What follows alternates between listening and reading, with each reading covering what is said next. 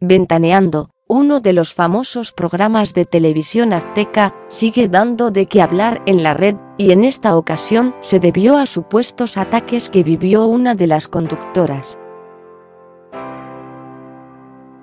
Jimena Pérez La Choco tiene ciertas rencillas en el programa Ventaneando, pues, desde que las cámaras la captaron haciéndole muecas a Patti Chapoy, no han frenado los ataques en contra de la presentadora.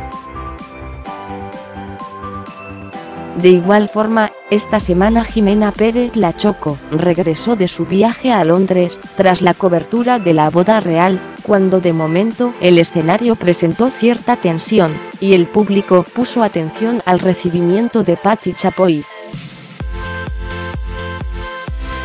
Inclusive, cuando todo parecía estar en calma en el programa vespertino, los usuarios se dieron cuenta de distintos detalles que parecieron incomodar a la conductora Jimena Pérez La Choco, y es que se vio que le aplicaron la misma jugada que a Tala Sarmiento cuando la excluyeron del programa Ventaneando.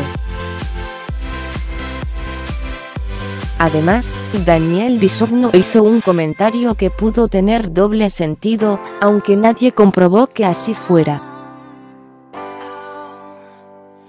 Esto fue lo que comentó el presentador.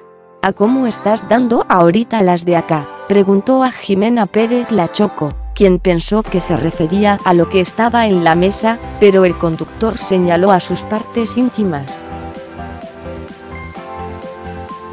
Mientras tanto, Pedrito Solano omitió sus comentarios cuando dijo lo siguiente.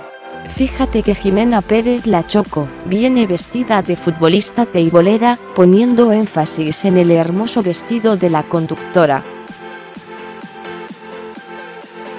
Hasta el momento las anteriores posturas no se confirmaron al 100% y solo el tiempo dirá lo que ocurrirá con Jimena Pérez La Choco.